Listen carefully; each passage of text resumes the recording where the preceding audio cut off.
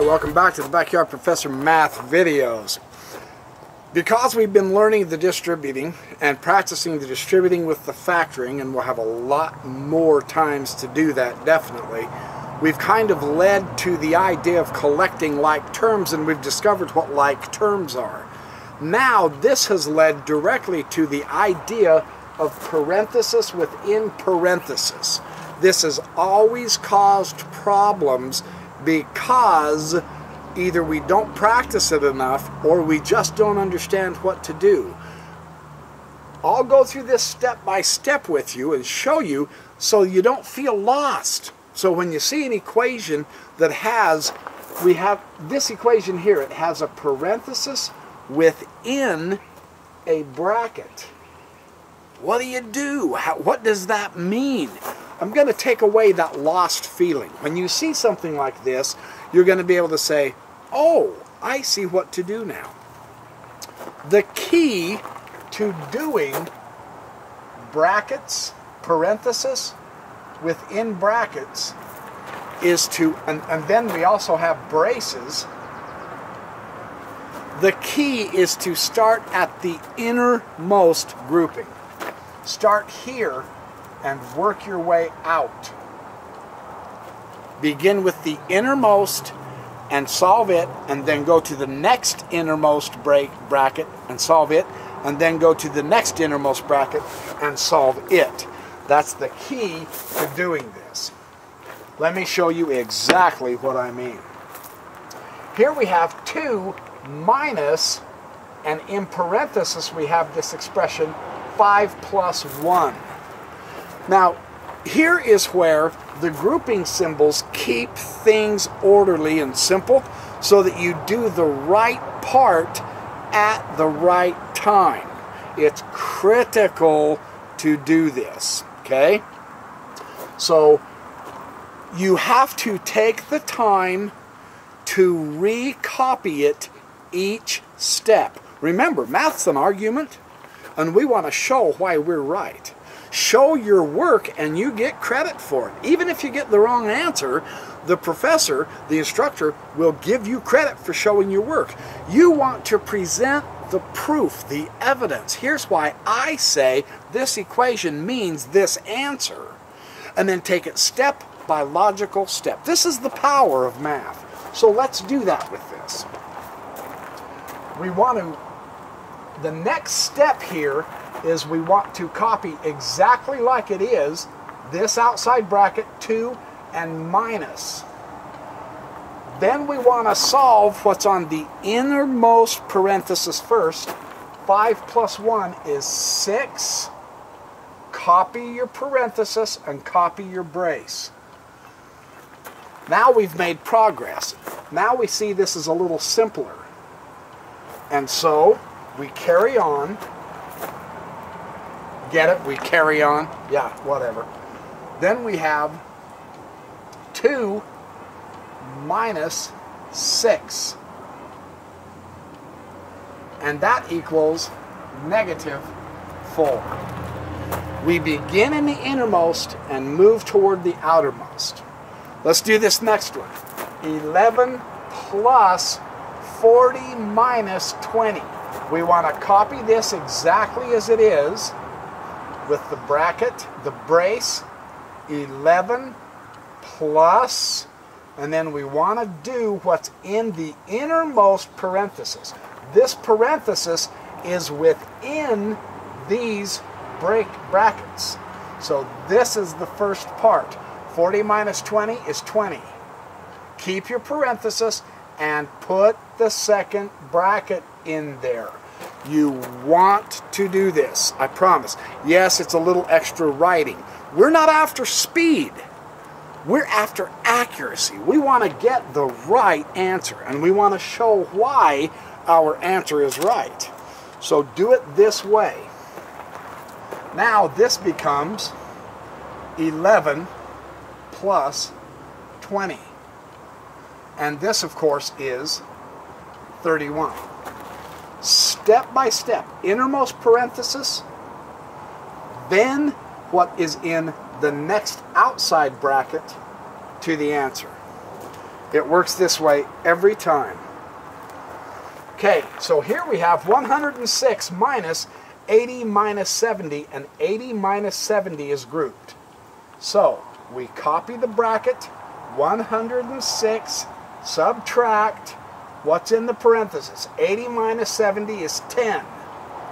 You keep the parenthesis and follow with that bracket. You've solved what's in the parenthesis. At this point, you can go 106, subtract 10. See, you've got rid of the parenthesis. One step at a time, and this simply equals 96. One step at a time, beginning with the innermost and working out. Here we have 3,000 minus 200 minus 600. We want to copy that bracket. We want to write down 3,000. We want to write the subtraction. And then we want to solve what's in the innermost parenthesis first. 200 minus 600 is minus 400. Paren and your bracket. Now we go to 3,000, subtract negative 400. Watch your signs. When you have a subtract, we have to keep the subtraction in here, right? We are subtracting what's in this parenthesis from 3,000. We are subtracting. When we solved what's in the parenthesis, it ended up being a negative number, negative 400. You want to keep your parenthesis. That tells you that's a negative 400 and it's being subtracted. I'm doing this on purpose to give you the, the sight, to, to get you used to seeing this. Now we have our double negative, which we can negate the negative. So this becomes 3,000 plus 400, which is 3,400. Now on this one we have a negative 3 divided by a negative one-third and this bracket expression, I put parenthesis around the negatives, that way it doesn't get confused with the division sign. This bracket, once we solve this, is dividing one-third. See how that works? So what is negative 3? What is negative 3 divided by negative one-third? You remember how to divide fractions. They're almost as easy as multiplying. You take this bottom fraction, flip it up upside down, and multiply it by negative 3. Keep your signs. This is a negative 3 and a negative 1 third. Keep those signs. Don't lose those. So this becomes negative 3 over 1. It's the same expression as 3 times negative 3 over 1. We're flipping this around. Negative 3 times negative 3 equals 9. 1 times 1 is 1, so we're at 9. But we've solved what's in this bracket. The answer is 9. However, we're going to divide by 1 third.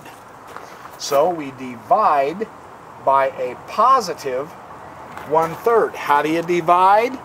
9 is really 9 over 1. Divide by 1 third. You take this, flip it around, and multiply it by this, so the denominator becomes the numerator, the bottom number goes to the top, and the top number goes to the bottom, and then you multiply straight across. This is simply 27 over 1, which is 27.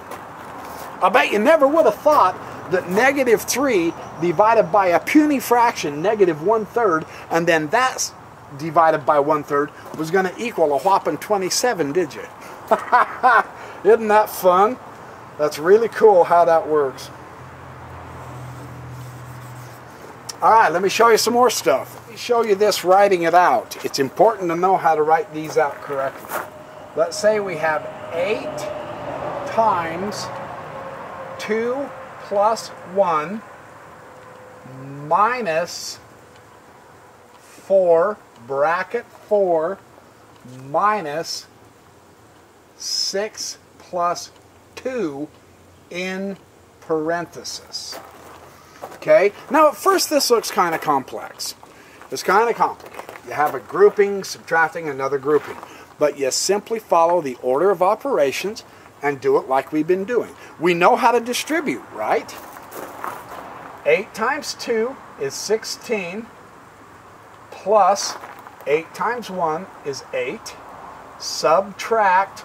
We want to keep this bracket because we have to do the innermost parenthesis first. We have a parenthesis within a larger bracket. So this becomes first, but we don't want to, we want to copy this correctly. So just copy that. We're not solving that part yet, but we want to copy it correctly. Now we solve this. 6 and 2 is 8. And see how we've eliminated the parenthesis, and now we still have the brackets to solve. So, 16 plus 8 is 24. Subtract 4 minus 8 is negative 4. We're starting at positive 4 and we're going to the plus negative. We're going to the negative 8 points. We'll land at negative 4. And now we have our famous double negatives that we have. 24 minus a minus 4. You see why you want to put your parenthesis around your negatives? It keeps it clear. Now we just negate the negative, and 24 and 4 is 28. It's that simple. Okay, let's say we have 5 times x plus 3.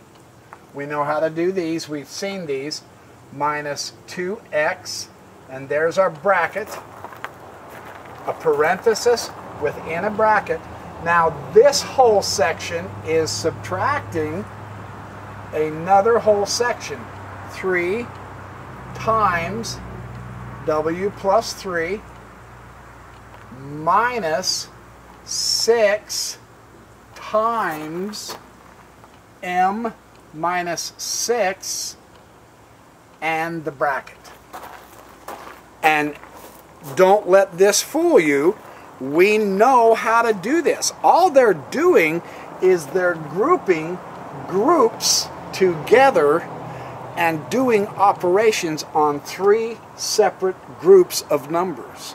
We've been practicing now how to solve each single group. Now they're putting all of the groups together. So what we do is we solve each individual group. You know, it's not rocket science. Not yet. but in this subject, we can get there. So let's do it one at a time parenthesis within braces, so we know we want to do this part first, but we want to copy it correctly. 5. Well, 5 times x is 5x. 5 times 3 is positive 15. And then carry along your minus 2x for the moment. So what we've done is we've distributed the 5 into this parenthesis and we've got rid of the parenthesis, but we still have the brackets. Now leave that alone. You solve the innermost, go to the next one. This is 3 times W is 3W. 3 times 3 is 9 plus 9 minus Notice how we got rid of the inside parenthesis. Here we have two groups of inside parentheses. We've got rid of that one by distributing. Now we subtract. 6 times m is 6m. And 6 times negative 6 is negative 36. And there's your bracket. So we've eliminated the innermost parenthesis first. Then you go back and put all of your like terms together and from left to right we'll add, subtract, multiply and divide first if we can. So let's see. We can rearrange this so that we have this as 5x minus 2x. We put the like terms together, right? Plus 15.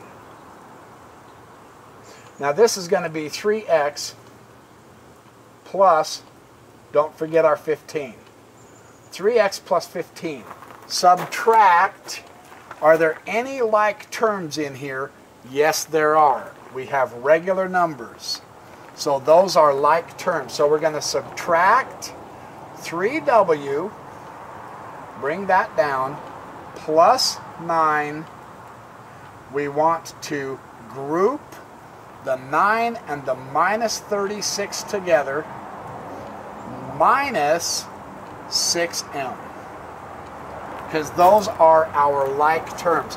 3w and 6m are not like terms, so we can't do anything with them. So 9 minus 36 is negative 27. So we have 3x plus 15 minus 27. We're going to put the like terms together minus 3w minus 6m. Now we do the subtraction here. 3x plus 15 minus 27 is negative 12. So instead of saying plus, we'll go minus 12. Minus 3w, we just copy that along, minus 6m. Well, I'll just leave it that way. Anyway, you can't combine any more like terms, so you're fine. So this is the idea in grouping symbols. Now let's say Man, that was a long, hairy one, wasn't it? Let's do something. Oh, here we go. Here we go. Oh, and I don't have time. I'm out of time. I'm going to save this for later. Yeah, I'm going to save this for later. I, have got these great big long ones written down and written out step by step to show you that it's really not that complex. You just have to systematically do it one step at a time. So Anyway, that's it for now for the parenthesis within parenthesis. I'll continue the theme and we'll do lots of practice with these. It'll automatically come up that we do a lot of practice, I promise. All of this stuff is going to be practiced. Right now, we're just kind of separating algebra in its separate units so that we can learn how to do the operations. Once we start putting it together, that's when it gets really exciting and fun and interesting. So, anyway, happy calculating. Have a great life, and I will see you in the next video.